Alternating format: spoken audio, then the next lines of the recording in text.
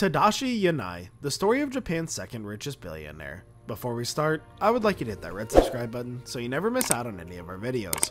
Hey guys, what's up? Welcome back to Smooth Lux. The businessman's beginnings. Yanai was born in mining town within Ube City in February 7, 1949. The apple's success didn't fall too far from the tree as his father owned his own clothing store called Min Shop Origari Soji. As he was the only son, Yanai was destined to one day take Yanai's family, actually lived on the top floor of the building, which his father founded in a month after his birth.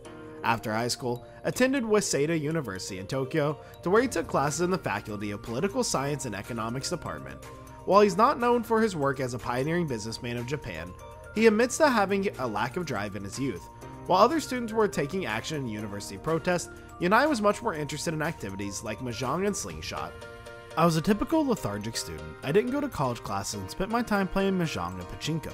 Yanai admits in an interview with Nippon Seiko. Under the advisory of his father, Yanai reluctantly stated working for a merchandise store called Jusco, though he wasn't all that private and spending his time selling kitchenware and menswear so he quit his job after working for less than a year. The 23 year old billionaire to be then returned to his home in Ube to work with his father's store. It was this experience that replenished his fervor for business. I realized not having any preconceived notion is important, says Yanai.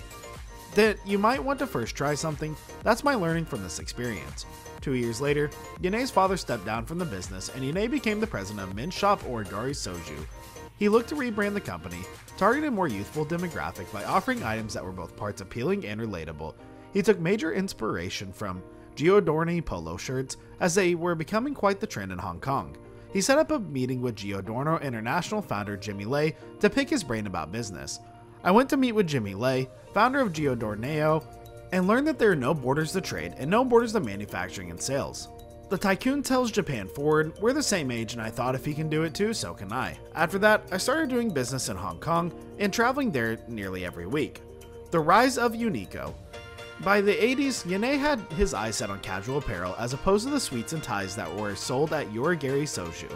Looking towards mega chain stores like Benetton and Gap for inspiration, he undertook the huge risk of opening up his next business venture, Unique Clothing Warehouse, the first store opened in Hiroshima in 1984, though it took a while for the store to gain its recognition.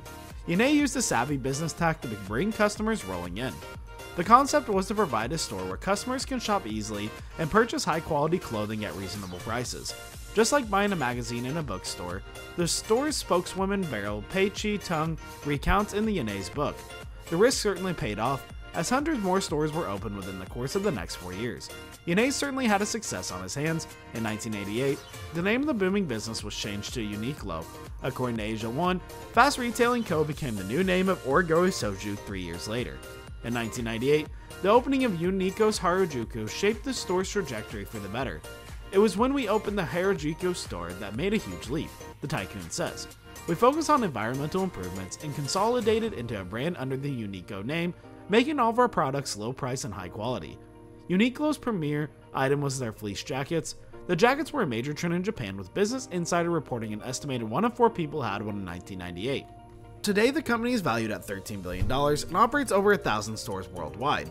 According to Quartz, fast capitalization surpassed that of Zara parent company Inditex by 105.6 billion, thus making it the most monetary valuable apparel retailer in the world.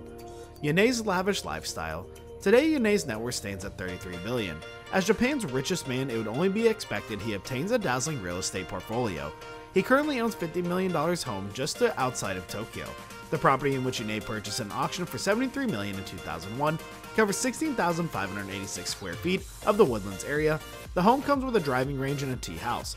He becomes the owner of Hawaii's Plantation Golf Course in 2009, as the billionaire is rather fond of the sport. He purchased the course for $50 million. The following year, he bought yet another course in Kapalua Bay in 2014, he bought a glamorous estate in the exclusively affluent neighborhood in Shibuya.